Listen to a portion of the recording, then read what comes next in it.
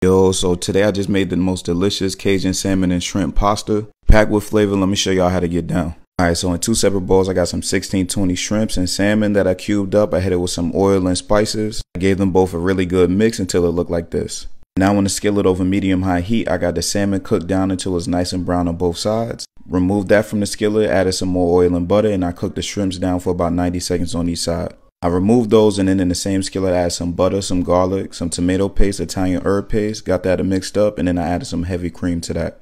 I didn't do a roux, so I let the cream sauce cook to reduce down. Then I turned the heat down to low, added plenty of Parmesan cheese.